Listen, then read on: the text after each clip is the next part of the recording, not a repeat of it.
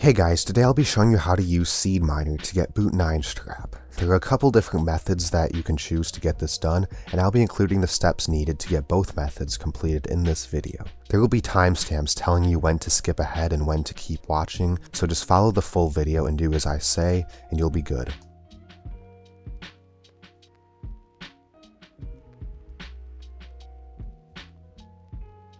So option number one, if you already have Homebrew on your console, then section one of this video is very simple. All you need to do is download the Seed Miner package that I have linked in the video description, then copy the Seed Starter folder into your 3DS folder on your SD card, like this.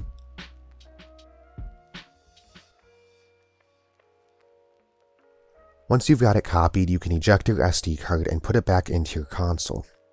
This is all for section 1, so now on screen you'll see timestamps you can jump to because you don't need to follow the other method of doing section 1.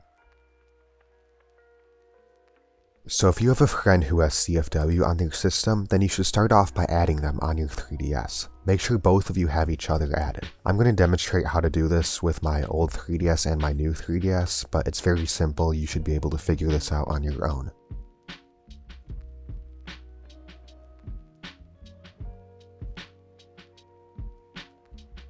So once you've got them added, they should probably watch this video from this point on because I'm pretty much going to be talking to them and you don't have to do much else. The friend needs to download the seed mining package, which I'll have linked in the video description, and place the seed starter folder into their 3DS folder on their SD card, like this.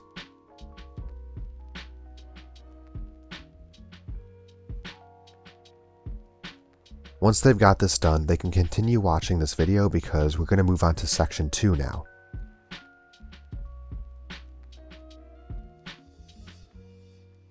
So now, you or your friend, depending on which method you chose, needs to launch Homebrew.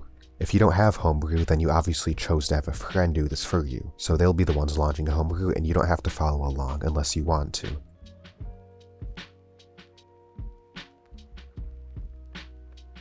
Inside of the Homebrew menu, open up the Seed Starter application.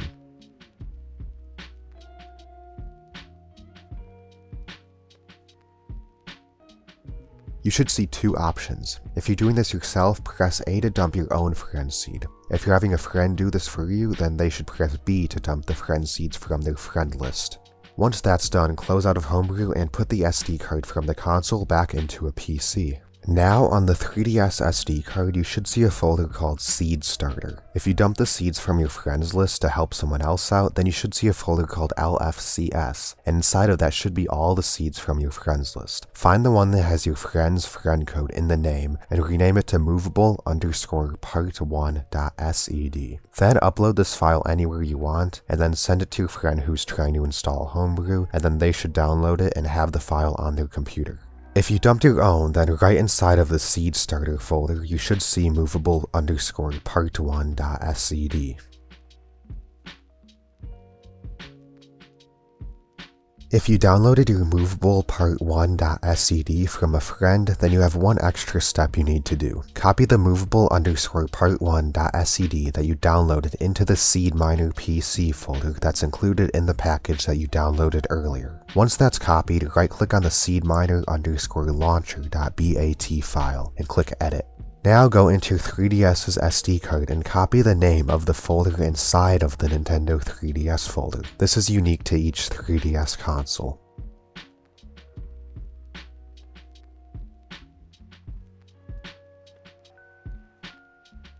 Paste it where it says ID0 here.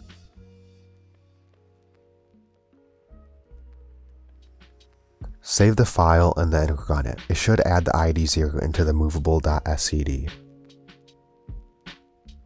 It didn't add mine because I already had mine added into it.